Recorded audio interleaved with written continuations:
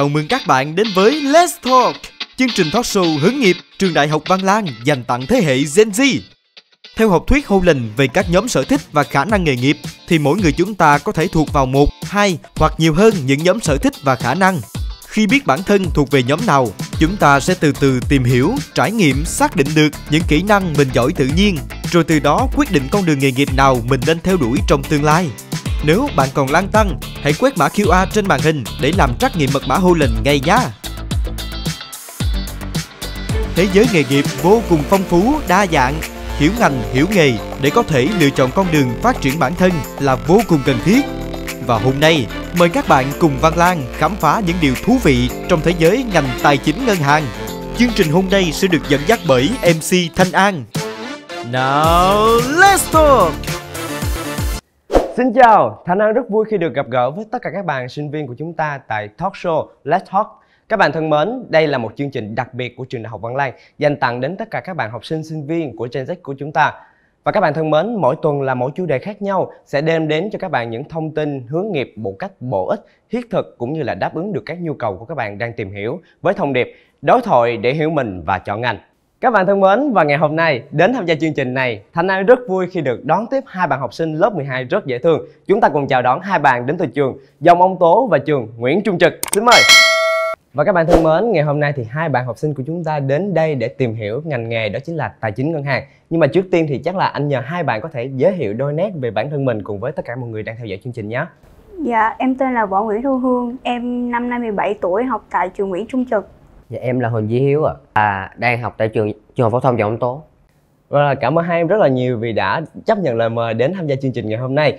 Và ngay bây giờ thì chúng ta sẽ cùng nhau gặp gỡ với ban tư vấn của chúng ta, những người sẽ giúp cho hai bạn học sinh ngày hôm nay sẽ có nhiều hơn những kiến thức về ngành tài chính ngân hàng. Thạc sĩ Phạm Thị Ngọc Lan, giảng viên khoa tài chính ngân hàng, từng giữ chức vụ phó giám đốc công ty trách nhiệm hữu hạn tư vấn thiết kế xây dựng Hy La. Chị Nguyễn Thị Ngọc Tươi, sáng lập và điều hành công ty trách nhiệm hữu hạn thương mại dịch vụ Thoca, sáng lập và điều hành nhà hàng chay Lạc Chay, cựu sinh viên khóa 16 ngành tài chính ngân hàng. Anh Nguyễn Phi Cường, giám đốc kinh doanh công ty cổ phần giao dịch hàng hóa thành phố Hồ Chí Minh, cựu sinh viên khóa 21 ngành tài chính ngân hàng, cựu chủ nhiệm đội trưởng câu lạc bộ bóng đá trường Đại học Văn Lang, đại diện sinh viên tham quan học tập tại Đền Hùng năm 2018.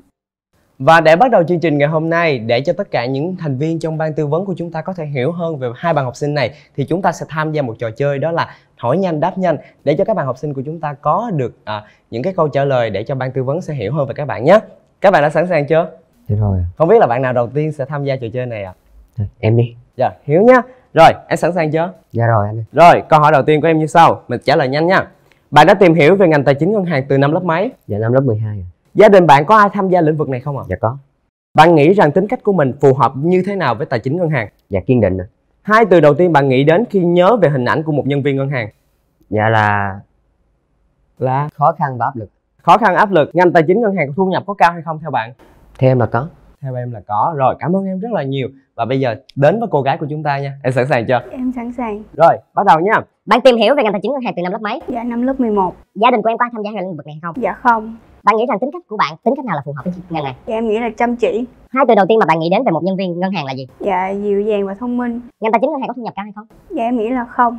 Không. Cảm ơn hai bạn rất là nhiều. Như vậy là qua những câu hỏi này thì em nghĩ rằng là ban tư vấn của chúng ta đã nắm được một phần nào đó về những suy nghĩ của hai bạn rồi. Thì hồi nãy á, thì em có thấy rằng là bạn Hiếu có trả lời một cái câu hỏi đó là khi mà nhớ về hình ảnh của những nhân viên ngân hàng thì họ sẽ nghĩ ngay đến với là khó khăn và áp lực. Thì chắc là câu hỏi này em nhờ anh à, Cường có thể uh, giải đáp rằng là đúng là cái ngành ngân hàng này có áp lực và khó khăn như bạn nghĩ hay không ạ? À? Ừ, thực chất mà để nói thì khó khăn bất kể ngành nghề nào nó cũng khó khăn nhưng mà khi mà các bạn đến với à, ngành tài chính thì trước tiên là các bạn sẽ được trải qua rất là nhiều cung bậc cảm xúc sau đó thì các bạn có thể có rất là nhiều trải nghiệm và kinh nghiệm để khi mà các bạn sau này có thể quản khi mà tài chính các bạn vững thì bạn có thể quản lý được tài chính của mình. Dạ, yeah.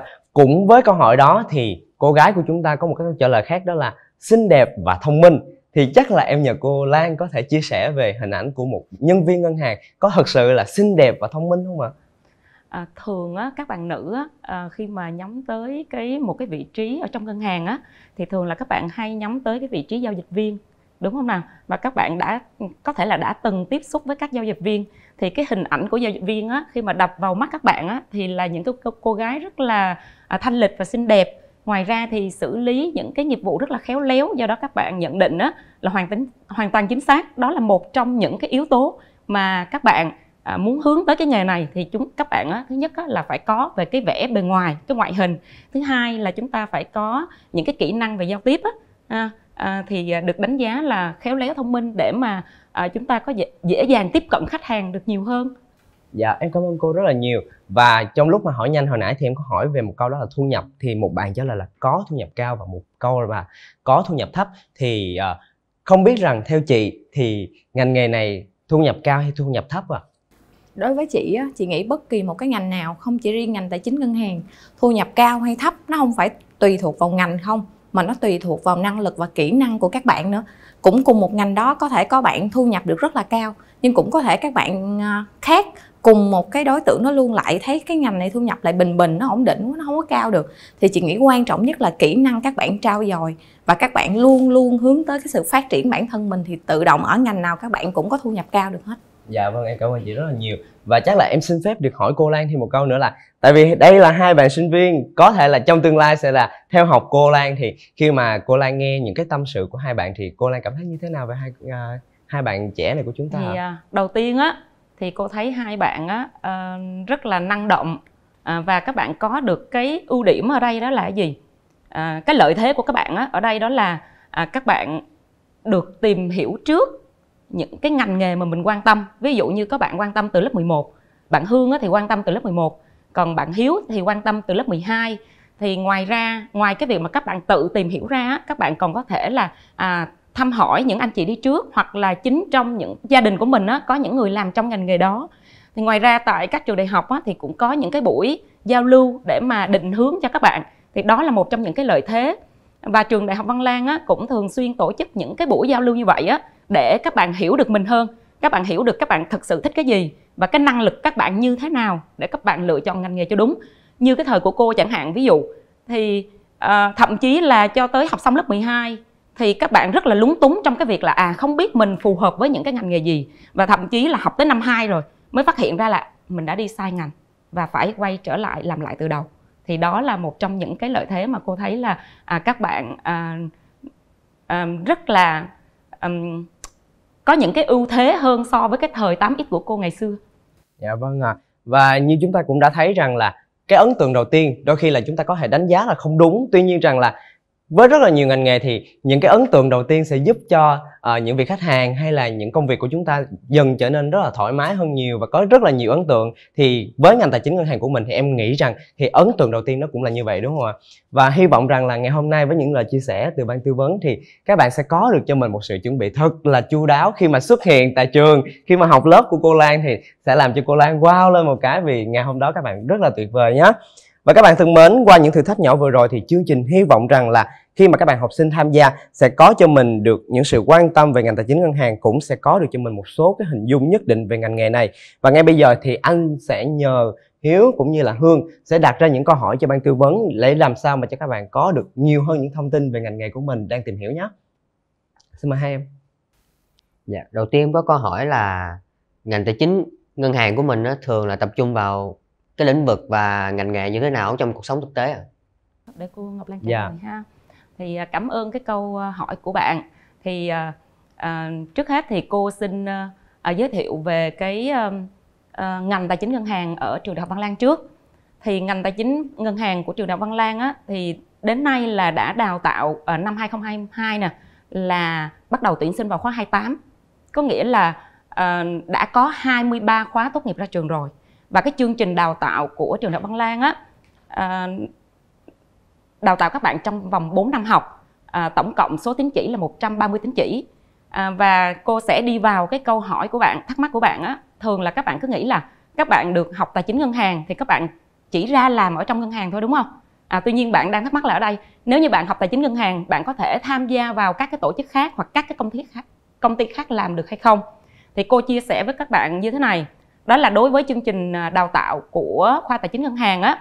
Thì à, sau khi các bạn học xong 4 học kỳ có nghĩa là kết thúc năm 2 thì qua đầu năm 3 á, là bắt đầu các bạn sẽ được chọn vào bốn cái chuyên ngành. Thì trong đó sẽ có chuyên ngành về tài chính doanh nghiệp thứ hai đó là về đầu tư tài chính thứ ba là ngân hàng và tài chính số à, và cuối cùng đó là bảo hiểm và quản trị rủi ro.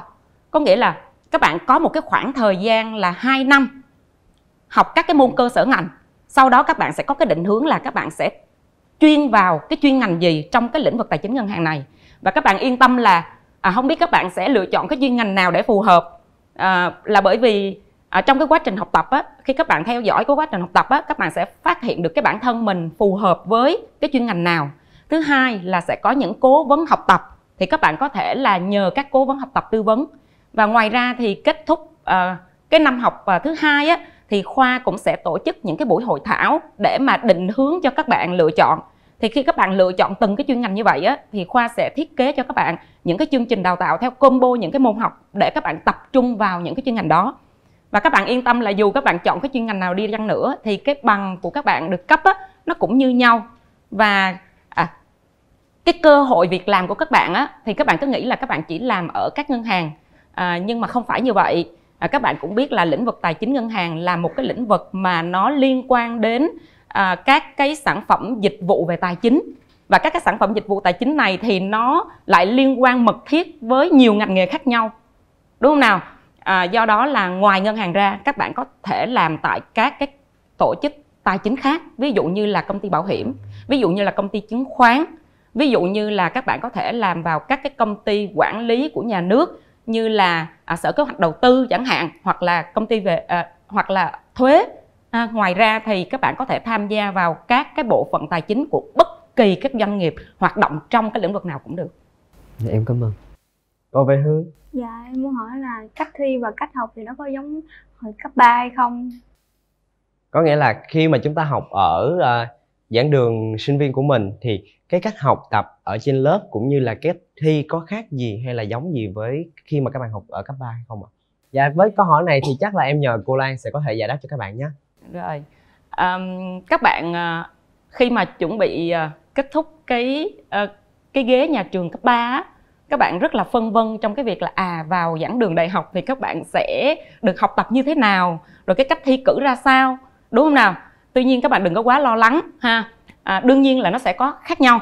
Thứ nhất là khi các bạn ở cái ghế à, cấp 3 thì à, các bạn thường gói gọn từ nhà tới trường hoặc là các bạn có đi học thêm đúng không nào? Nhưng mà vào giảng đường đại học rồi á thì cái thế giới của các bạn nó sẽ rộng hơn và à, cái cách học tập nó cũng sẽ khác hơn rất là nhiều. Ví dụ như à, ở cấp 3 đúng không nào? Các bạn có thể là học một chương mà nó kéo dài rất là nhiều cái số tiết. Có thể là học vài tháng mới hết một chương nhưng mà ở đại học á một chương các bạn chỉ học trong một buổi 3 tiết. Do đó là cái yêu cầu ở đây các bạn là ngoài cái thời gian mà các bạn ở trên lớp giảng viên trao đổi cho các bạn các cái nội dung trọng yếu của cái buổi học ngày hôm đó thì các bạn phải về nhà các bạn phải bỏ rất là nhiều thời gian để tự học. Có nghĩa là các bạn phải có được cái tính gọi là à, tự giác trong cái việc học tập của mình. Cái việc học tập của mình nó không có theo sát được các cái giáo viên giảng viên ở trường đại học không có theo sát được giống như phổ thông mà là chính các bạn phải tự theo sát được mình. Và thứ hai là cái việc thi cử cũng vậy. Ví dụ như ở cấp 3 thì cái việc thi cử các bạn thì thường là đề thi á, nó sẽ sát với cái nội dung học tập. Nhưng mà đại học á, thì yêu cầu các bạn phải tư duy rất là nhiều. Do đó những cái câu hỏi á, nó nó nằm ở cái phạm vi gọi là các bạn phải à, tự tự tư duy và tự có cái khả năng sáng tạo ha à, nó không có gói gọn giống như ở phổ thông. Do đó là cô nghĩ là à, nó sẽ có một chút gì đó khó khăn. Tuy nhiên là à, xong năm thứ nhất thì các bạn sẽ tập quen dần. À, do đó đừng có quá lo lắng. Dạ vâng em cảm ơn cô rất là nhiều. Mình có thể thấy được một điều đó là dù là các bạn còn trẻ đó nhưng mà khi mà các bạn đặt chỉ đặt đúng hai câu thôi là đã ra được một cái quá trình đó là học tại trường. Xong ra trường thì các bạn đã làm gì luôn rồi? Và ngay bây giờ thì chắc là để thay đổi một không khí của chúng ta một xíu thì ngay bây giờ thì Thanh An xin mời à, ban tư vấn cũng như là các bạn học sinh của chúng ta sẽ tham gia một trò chơi. Thì trên tay Thanh An là 10 tấm hình liên quan đến ngành nghề của mình. Thì khi mà à, Thanh An đưa tấm hình đó ra thì từ bên cô sẽ đi qua tới các bạn. Chúng ta sẽ trả lời ai trả lời đúng nhiều hơn thì mình sẽ dành một phần quà từ ban tổ chức. Dạ. Không biết là cô cũng như là hai bạn đã hiểu luật chơi chưa? Dạ rồi. Dạ rồi mình sẽ có 5 giây cho mỗi tấm hình. Dạ mình nhìn vào tấm hình này thì mình có thể thấy được đó là cuốn sách. Và bên đây là ngân lượng. Mình có thể ghép lại thành là ngân sách. Wow. Nè dễ nè cô. Mình cứ ghép giống như tấm hình đầu tiên thôi. Dạ. Năm bốn ba hai định lượng. một. Dạ chưa chính xác à minh cường. Ba hai một quá dễ. Bây giờ mình chỉ cần mà em mà gợi Kế ý sách. một xíu thôi. Dạ. Kế sách. kế sách. Kế sách là một đáp án gần đúng à chị nghĩ đây là kế toán. Kế toán. kế toán là một đáp án hoàn toàn chính xác à xin được chúc mừng chị tươi. Mình đã có được một điểm ngày hôm nay. Dạ tới cô gái của chúng ta. Tấm hình của em đây. Ba hai một cố lên. Phật không đưa được đáp án à. Xin mời em. Hiếu rồi tôi quay lại với cô lan à năm bốn ba hai một. Dạ không đưa ra được đáp án à ba. Tài hai khoản. một. Gần đúng à tài gì à ba mà chị là tươi à năm bốn chị Ba. tài chính. Tài chính vẫn chưa chính xác à tài sản là án chính xác à như vậy là hồi nãy giờ thì mới có chị tươi là ghi được một điểm cho mình. Và chúng ta đến với tấm hình thứ tư nhé các bạn. Xin mời em. Khó hả? Rồi để xem thử nha. Ban tư vấn của chúng ta chưa xem được tấm hình này thì không biết là ban tư vấn sẽ nghĩ gì về tấm hình này nhé. Xin mời hiếu. Dạ hợp đồng. Hợp đồng hả? Chưa chính xác lắm. Dạ rồi bây giờ mình qua tới ban tư vấn à đây à mời cô. Năm bốn ba hai một. Dạ. Xin mời anh cường. Ba hai một. Dạ. Xin mời chị. Ờ, cái này chị nghĩ là tóc ký hả? Dạ. Nó là vai vốn mà à. Vai vốn à dạ. Đáp án là vai vốn. Rồi này thì dễ hơn nè khi mà nhìn tấm hình này thì chắc là anh nghĩ em sẽ đoán được. Dạ ngân hàng. Ngân hàng là đáp án hoàn toàn chính xác à rồi chúng ta còn đến với bức hình tiếp theo. Đầu tư. Đầu tư. Đúng không bạn tư vấn? Chính xác à và bây giờ chúng ta cùng quay lại với cô Lan. Mặt tiền. Mặt tiền quá chính xác luôn cô ơi. Rồi chúng ta cùng đến với tấm hình tiếp theo. Xin mời anh cường năm bốn ba hai một. Dạ anh cường không có đáp án. Xin mời chị. Ờ, chị cũng không có đáp án cho chị không này. có đáp án. Xin mời hương. Ba hai một. Hết giờ. Xin mời hiếu. Dạ thương trường à thương trường. Gần đúng rồi. Một xíu nữa. Bây giờ chúng ta thử nghe cô xem đáp án của cô là gì nha theo cô là đấu giá. Đấu giá chính xác rồi. Như vậy là chúng ta đã trải qua một vòng chơi rất là dễ thương đến từ các vị khách mời của chúng ta. Và với trò chơi vừa rồi thì chúng ta cũng đã có kết quả rằng cô Lan là người chiến thắng trò chơi này với hai đáp án chính xác. Chúc mừng cô Lan! Dạ vâng ạ ngay bây giờ thì em sẽ đại diện chương trình gửi đến cô một phần quà.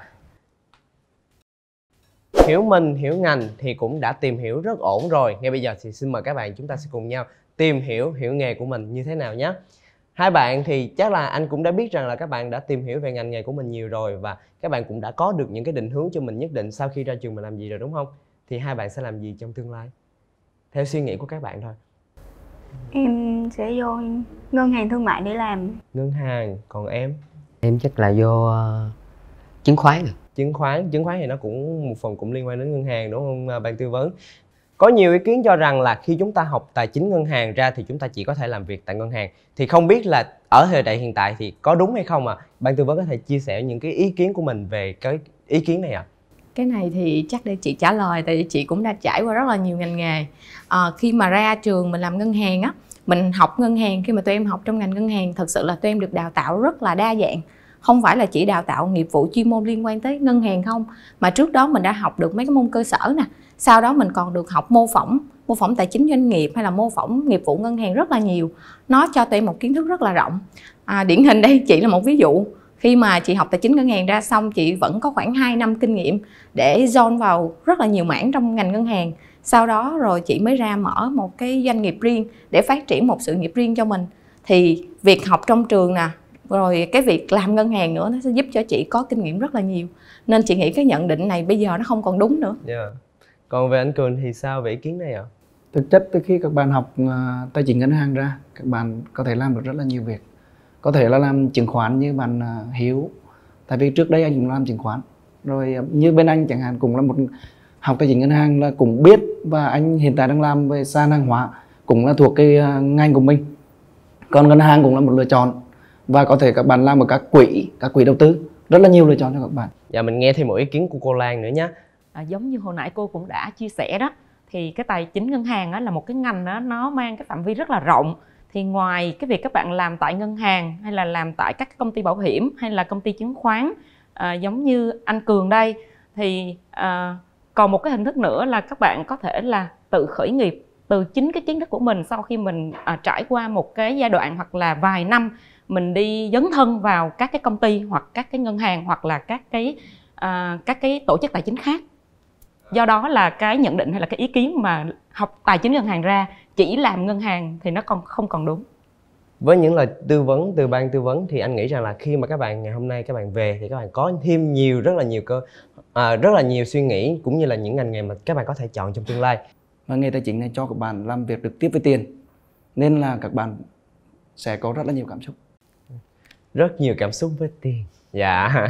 Còn chàng trai thì của chúng ta thì như thế nào? Dạ, theo em thấy thì theo tình hình thực tế á, thì mọi thứ đang dần số hóa rồi. Nên là nó có ảnh hưởng gì tới cái ngành tài chính ngân hàng của mình không ạ? Ừ, câu này chắc là em nhờ chị có thể giải đáp cho bạn nhé. Ok hiếu. À, nếu mà nói ngành số hóa thì thật sự bây giờ thị trường bất kỳ một cái ngành nghề nó cũng đang số hóa hết. Nếu em không chọn ngành tài chính ngân hàng em chọn bất kỳ ngành nghề nào nó cũng đang số hóa thì giống như hồi đầu à, chị có chia sẻ đó quan trọng nhất là mình trao dồi kỹ năng mềm của mình tư duy của mình kiến thức của mình. Thì em ở bất kỳ một cái ngành nghề nào dù cho nó đang số hóa thì nó cũng rất là cần những cái nhân lực về tư duy. Tại vì con người mình là đứng đầu hệ sinh thái lúc nào cũng sẽ rất rất là cần. Nên là thành ra là em cứ quan trọng nhất là cái việc trao dồi kỹ năng của mình.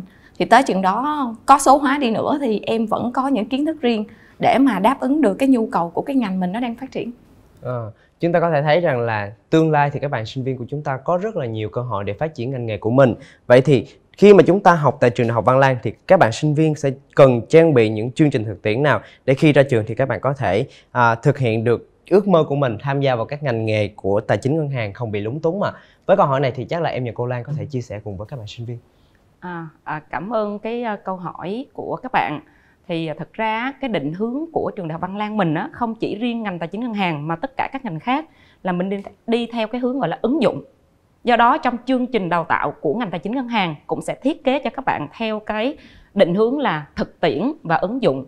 Chính vì vậy mà các bạn à, từ năm nhất trải dài cho đến khi mà năm cuối các bạn sẽ được à, à, tham gia cũng như là à, các bạn sẽ được à, à, tham gia các cái khóa gọi là thực tiễn á. ví dụ như ở năm nhất đi à, khi các bạn vào ngay cái năm đầu tiên vào giảng, à, giảng đường thì các bạn đã được thiết kế một cái khóa gọi là à, kiến tập thực tế tại các doanh nghiệp hoặc tại các ngân hàng.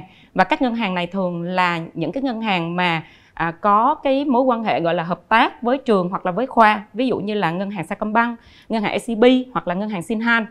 À, ngoài ra thì năm cuối các bạn cũng sẽ có một cái học kỳ gọi là thực tập tại doanh nghiệp ha.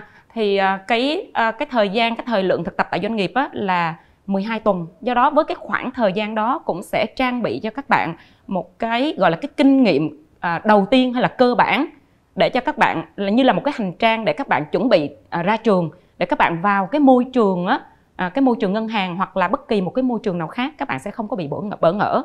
Thì ngoài ra là xuyên suốt trong cái quá trình học thì các bạn có thể là à, được tham gia các cái à, câu lạc bộ hoặc là à, các cái buổi hội thảo. Ví dụ như các bạn có thể tham gia à, cái chương trình gọi là lập kế hoạch đầu tư hoặc là các cái chương trình các cái cuộc thi về khởi nghiệp là khoa tài chính ngân hàng sẽ thường xuyên tổ chức cho các khóa. Do đó các bạn yên tâm.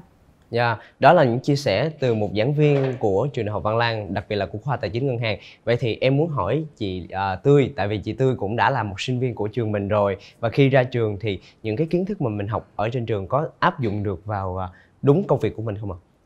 nếu mà với câu hỏi của em á, thì chị rất là tự tin để trả lời tại vì chị may mắn là khóa chị á, là một trong những khóa đã áp dụng cái việc mà có cái chương cuối á, tức là có cái giai đoạn học mô phỏng giống như là cô Lan vừa nói thiệt sự là nó rất là giúp ích cho mình trong đoạn mình học luôn. À, khi mà tất cả kiến thức về lý thuyết á mình học nói là tiếp thu được nhưng thực tế mình sẽ không có tưởng tượng được các em về bản chất không có tưởng tượng ra được là nó sẽ vận hành như thế nào, những kiến thức đó nó vô một cái luồng.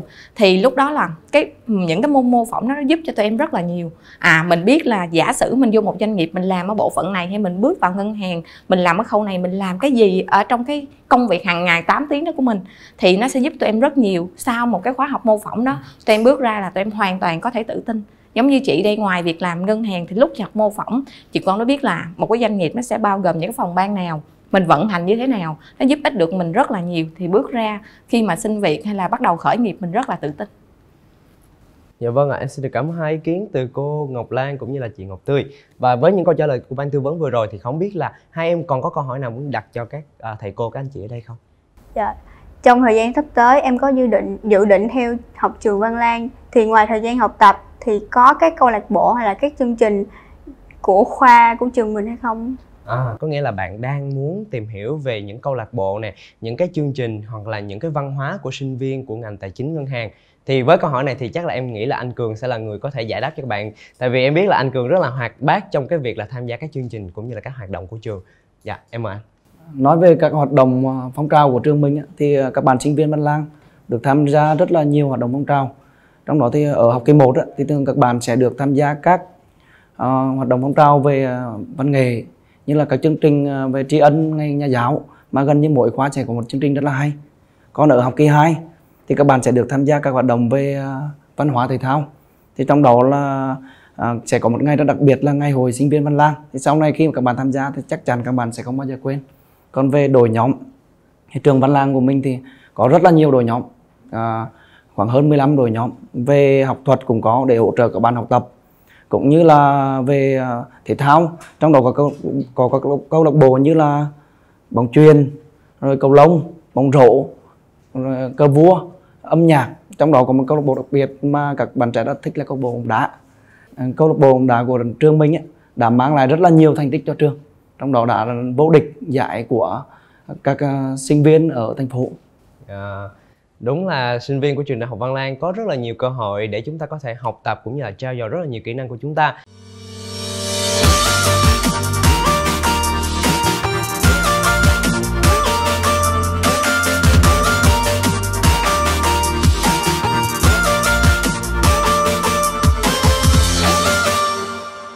Và ngày hôm nay thì em cảm nhận được là một buổi chia sẻ rất là dễ thương, rất là đầy đủ thông tin từ cô, các anh chị để đưa đến cho hai bạn học sinh của chúng ta.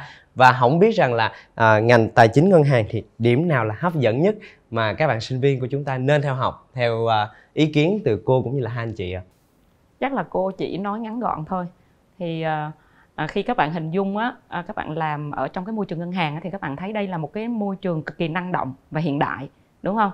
Các bạn vào trong đó các bạn bắt nhịp theo bắt nhịp theo cái môi trường đó. Đồng thời là à, nó sẽ mang lại cho các bạn nhiều cái năng lượng tích cực. À, thứ hai là đó là cái môi trường mà chúng ta phải luôn học hỏi phải luôn thay đổi bản thân cũng như là các bạn có cái cơ hội thăng tiến cao. Thì cô chỉ chốt lại hai cái ý đó thôi. Dạ, còn anh Cường thì sao ạ? khi mà các bạn theo ngành tài chính á, thì đầu tiên là các bạn sẽ được đào tạo. Đào tạo rất là kỹ. Từ trong à, môi trường của trường học đến à, sau khi các bạn đi làm sau đó thì các bạn sẽ có rất là nhiều kinh nghiệm và sẽ quản lý được tài chính của mình. Cái đó là cái quan trọng nhất. Và thêm cái nữa là các bạn có rất là nhiều mối quan hệ mà có thể giúp các bạn sau này rất là tốt. Dạ, còn chị Tươi. ngoài cái mối quan hệ giống như là anh cường nói thì chị nghĩ à, trong cuộc sống ai cũng có hai cái điểm quan trọng nhất đó là tài chính với lại sức khỏe. Thì nếu mà em chọn ngành tài chính thì em đã chọn được tối ưu một trong những cái quan trọng nhất rồi Em cảm ơn những lời tư vấn cũng như là những lời góp ý từ ban tư vấn dành cho các hai bạn học sinh ở đây. Và trước khi chúng ta kết thúc chương trình này thì anh muốn hỏi là cảm nhận và những điều mà các bạn thích nhất ngày hôm nay khi đến tham gia buổi talk show này là gì? Dạ em thấy môi trường ở đây rất là năng động và tích cực ở đây à. Rồi còn bé Hương. Dạ, chương trình giúp em hiểu hơn về ngành em sắp học và tự tin hơn khi bước vào ngành tài chính.